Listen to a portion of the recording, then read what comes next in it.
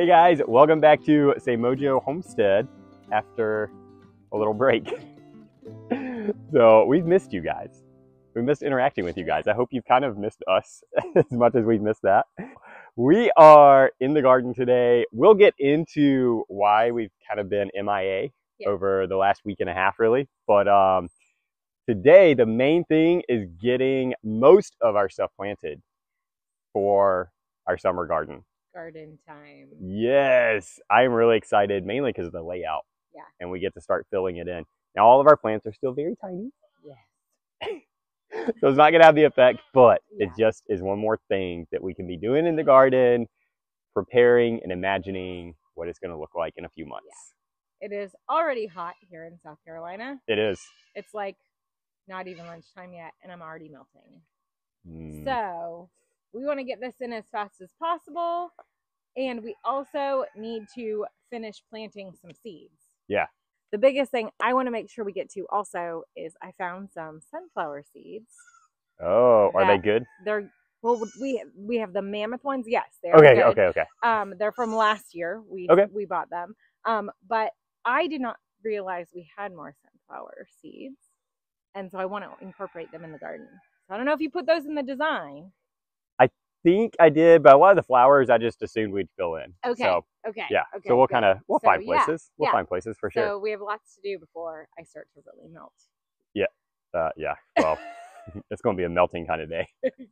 The other big exciting thing, or scary thing, or freaky thing, or whatever, Oh gosh. are the cicadas No. have so arrived weird. here. I was yes. but yeah. and it's just the beginning. They just started this week. They're going to get so much louder. I can handle the noise. It's like last night we went to put the baby goats away, and there was like cicada skin and like a cicada shedding its skin. It was If you guys aren't familiar with horrible. with cicadas, like if you don't have them in your area, they are very alien. Like there's actually one right here. They're We- really starting to pop out. I'm going to show you guys. we didn't have these in California. Look at that thing. So ugly.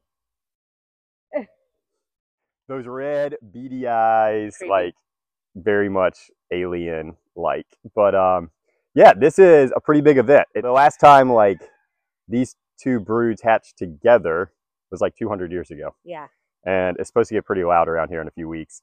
If you're not really familiar with them they have different brood cycles. Like different types of cicadas have different brood cycles. So there's like the seven year cicada. So basically like they lay eggs they lay dormant in the soil or like in their like larva state in the soil for seven years and then they emerge and come out. And then you have like i don't remember all of them but there are so many different ones and some of them are like 15 years in the soil all that stuff. So this one just happens to be two different ones that are coming out at the same time and um, yeah it's it gets interesting in the south. Yes, it does. but enough about that. We're trying to beat the heat. Let's get yes. started let's get to gardening. All right guys first things first we got to figure out where i put everything in this design. So we have the design if you missed that video where we really talked through it i will link it for you guys if you want to check that out but um yeah i'm excited about this craziness so we've got a lot of tomatoes going in These are not well, some of these are tomatoes. some of these are tomatoes okay some of them are peppers. Yeah. So they are, some of our stuff is big, some of it is really tiny because we had to restart. Which, if you also missed that, here's another video that you can check out. But uh, That was not a fun day. It was not. But they're up, they have true leaves, and so we can go ahead and put them in the ground. Yep. And I think that we will, just to get it all done. So Yeah. all of this is lower stuff on the inside. Okay. Okay. Or we can bring it to here and then just do tomato, tomato, tomato. Let's do that. It'll just be a little bit more open over here if we do yeah, that. let's do that. It won't be like a solid wall. Oh. But it won't be anyway.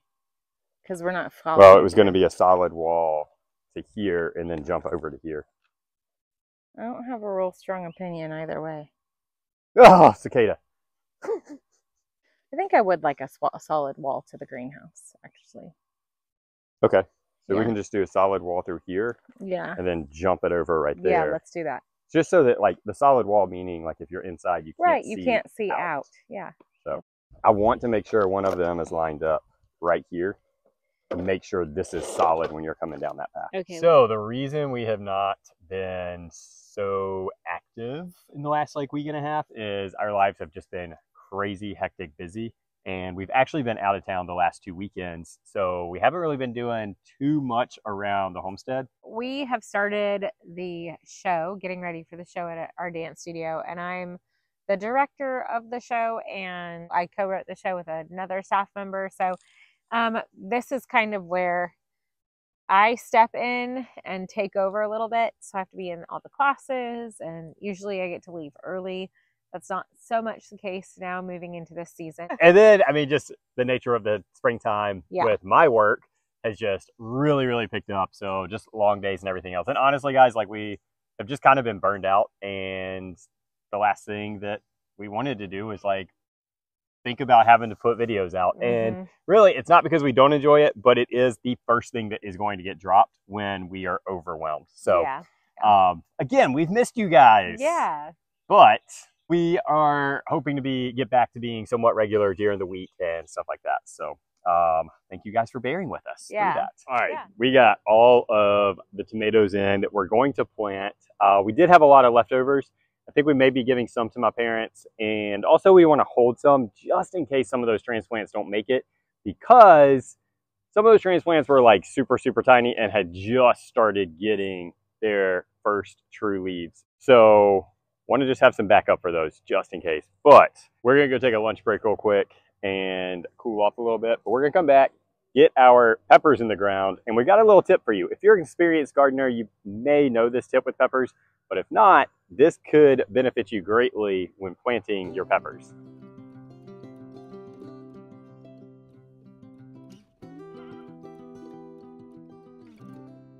Found this guy, girl, who always squeezes through our fence to get into the garden. Thankfully, she only is eating the weeds in the garden, but with all of these things that we're planting today, we, whew, we're really gonna have to uh, keep an eye on her. I don't know that there's anything really like immediately that we can do to keep her out, but um, yeah, at least she's a good weeder. I got to give her credit for that.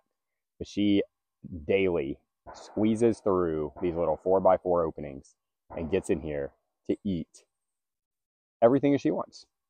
But hey, I mean, she is kind of cute. So we do have a couple things we haven't um, updated you about or shared with you yet.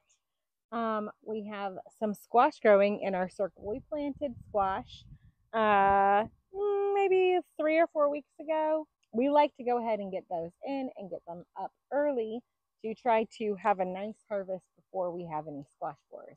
If you have ever fought with a squash a squash borer, you know what I mean. We have a bunch of different varieties of squash. I can't say specifically which ones each are because as you know we do our wild planting. Um, but what we've done is we've planted them in the circle.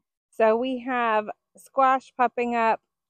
There's a little guy. We did all like summer squash in here. So your zucchini your yellow crookneck we may have a couple patty pan all these little leaves popping up right here are all zinnias. We're going to have a lot of zinnias in this bed. Um, and then we have, of course, the snapdragons, which I love. We just have a lot going on um, in these beds still. We do have a couple brassicas left that we just haven't pulled up just because we haven't pulled them up yet. And we can saute the greens and use those uh, in meals, and we do that. So they don't seem to be bolting yet so we're just leaving them for now. Um, the other thing we have that I haven't shared with you yet, I'm debating. Do I walk you through the circle and all the way to the other side of the garden? Or do I just stop and go over there and show it to you? But I think that we're just going to keep walking um, and talking uh, because it's lovely out here and I love this circle. So that was the circle we just walked through. And now I'm going to show you something on the other side of the garden. Look at that. These are artichokes, and we do have some aphids on them. We might spray them for, with neem oil. I haven't yet, only because I did see a um, ladybug on here, and I don't want to kill any beneficial bugs in the process of trying to get rid of the pest. I am excited about how many artichokes are on this plant. So I did have someone ask on Insta- Instagram if we grew them from seed. We did not. We got the plants. We actually have three plants. Two of them are in pots. They're not doing as well as this plant that's in the ground. So since this plant did so well, it overwintered well. We did have lots of cold nights, so this one definitely survived them and did a great job and is thriving. So I think we're going to put those other two plants that are in pots in the ground. This one, Jeremy did transplant from a pot into the ground. And look, it's like so happy and thriving also. So we definitely will probably transplant all of those and um, have them just in our garden. All right, guys, time for that pepper tip that I told you about. So in these rows, kind of the finger section of our garden, we are doing hot peppers. And then inside the spiral, we're gonna do all the sweet peppers. This is something that works for all peppers, hot and sweet, and will maximize the yield that you're gonna get off of these things. So I'm gonna put you guys down so you can see. So you wanna really ideally catch them when they're about this size after they put on their true leaves and then have started kind of the second set of true leaves. Uh, at least get them to that point.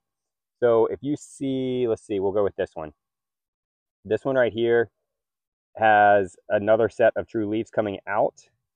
So you're going to grab that top, pinch that top off, just like that. Make sure you don't just get the leaves. You definitely want to make sure you pinch that top stem. And when I say pinch, I mean, you know, break it off.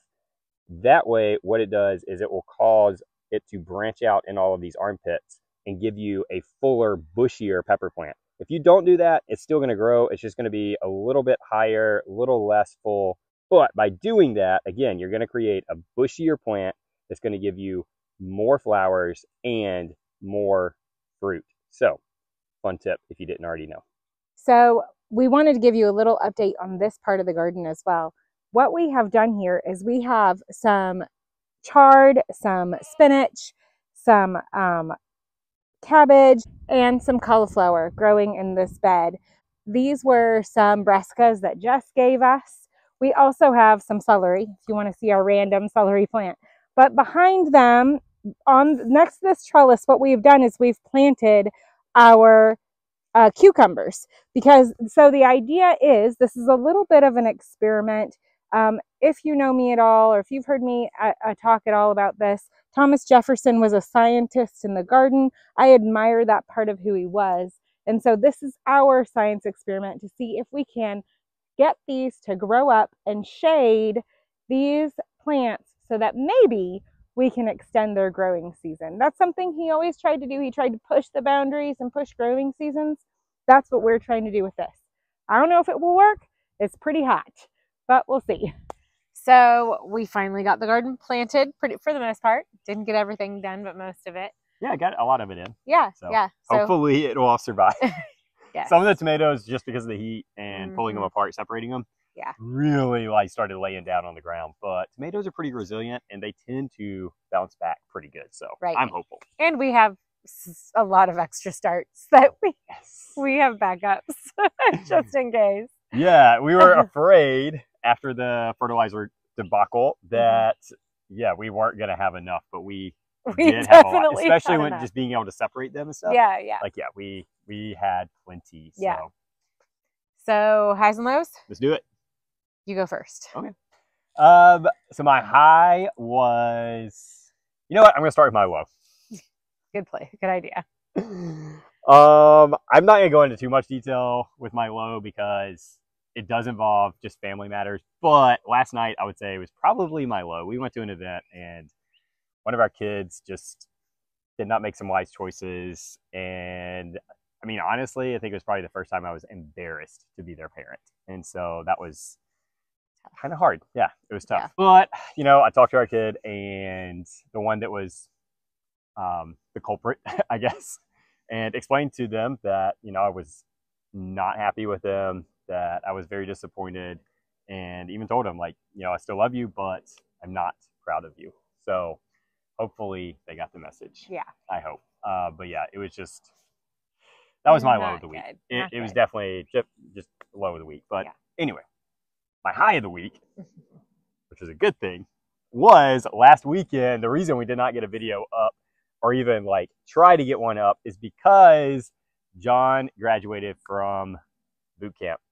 We went down and saw that. We spent the weekend with him. It was really, really good. Split the time between um, his family. We've met them before, but it was kind of just a quick little, Quick, yeah. like 30 minute conversation kind of meeting. Um, Yeah. This, we got to spend some time with them, and that was just a lot of fun. Yeah. And we got some just one on one time with John. So that was really good. I just really enjoyed it. And we kind of made a weekend trip of it. Yeah. And the kids being able to hang out with him Yeah. definitely, definitely was a high. It was a bittersweet because it was like weekend and then goodbye again. Yeah. But um, it was really good. It was worth it, and to celebrate his accomplishment. yeah. So he's going into infantry training, and we get to do it again in like 12 weeks. Yep. So looking forward to getting back down there and getting some more time with him. My high is well definitely the same being there with him being able to see the kids with him again we were at one park and we were rock climbing and just you know he's just like he sees them as his little siblings so helping him climb on the rocks and stuff it was just a lot of fun it's good being with him it was nice because we got a house so we had some downtime with him with which i think i appreciated more than anything else. I loved seeing him graduate. I cried, all the things. But having that like that mm. time in the house with him made it feel more like home and Yeah. not rushed. Well, and we brought homestead food, as he calls it. yeah. So, So- we were able to cook for him. So yeah, it was it was really good.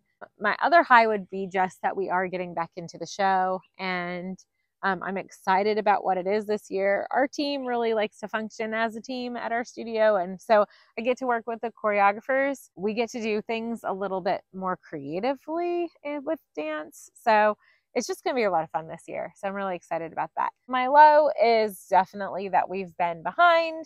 We were out of town for two weeks, two weekends, doing two things that like I definitely wouldn't repl- not do it. You know, like they were worth the time and the trips. But I think the biggest place I felt very pressured was like school lunches and the house.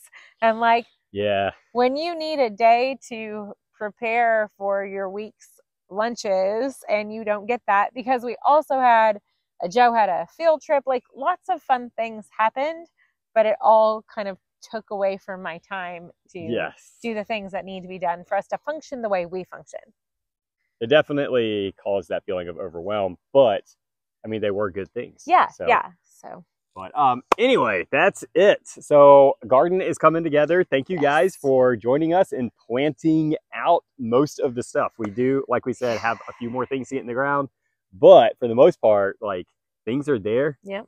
It's just time to like watch them grow. yes The exciting the time. fun part yeah Yes. Yes. and I get to have my wall in my garden and I can be walled come in and hide. here and hide Your sanctuary. yeah we do really appreciate you guys following along with us, uh, subscribing. If you have not done that, we Yeah. invite you to do that. Become a part of the YouTube family with us and hit that like button if you like this material. It's just a great way of letting us know Yeah. and a simple way to just encourage us and saying, Yeah. hey, like we like what you're doing. Keep doing it.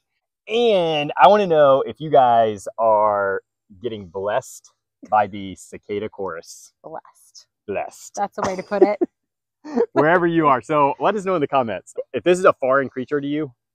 Let us know. Let us I would, know. I would like to know. yeah Maybe we'll like do a little cicada video later on when they really get bad. they were attacking my hat today so I hope they don't get any worse than they are right now. oh, now they've just started. They're Oh, getting gosh. worse. well, I hope you guys have a great week and be blessed.